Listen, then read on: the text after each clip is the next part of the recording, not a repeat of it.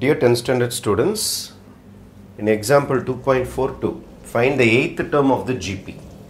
Eighth term of the GP.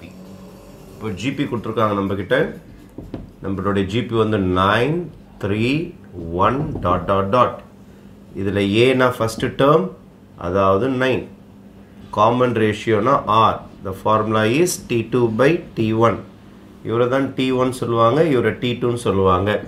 அப்போ D two வந்து எனக்கு த்ரீ டி ஒன் வந்து நைன் அப்போ த்ரீ டேபிள்ஸை கேன்சல் பண்ண ஒன் டைம்ஸ் த்ரீ டைம்ஸ் அப்போ ஒன் பை த்ரீ தான் என்னுடைய காமன் ரேஷியோ அவங்க கேட்டிருக்கிறது எயித்து டேர்ம் கேட்டிருக்காங்க. எயித்து டேர்ம் அப்போது ஒரு டேர்ம் கண்டுபிடிக்கணும் அப்படின்னா ஜென்ரல் டேர்ம் ஃபார்முலா தெரிஞ்சால் டேர்ம் கண்டுபிடிச்சிடலாம்.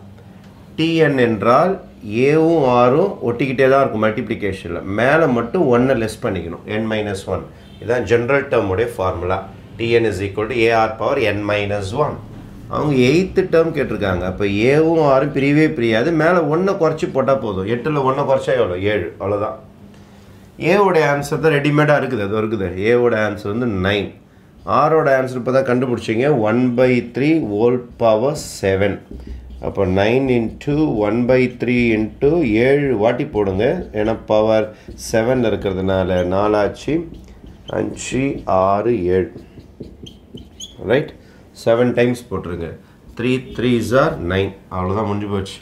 மேலே ஃபுல்லாக ஒன்றாம் நம்பர்ல பண்ணால் அதே தான் வரும். த்ரீ த்ரீ ஜார் நைன் த்ரீ த்ரீ சார் nine nine nine sir eighty one eighty one into three போட்டிங்கன்னா three one sir three eight three sir twenty four your answer will be 1 by 243. This is your TH, okay, eighth term. Thank you.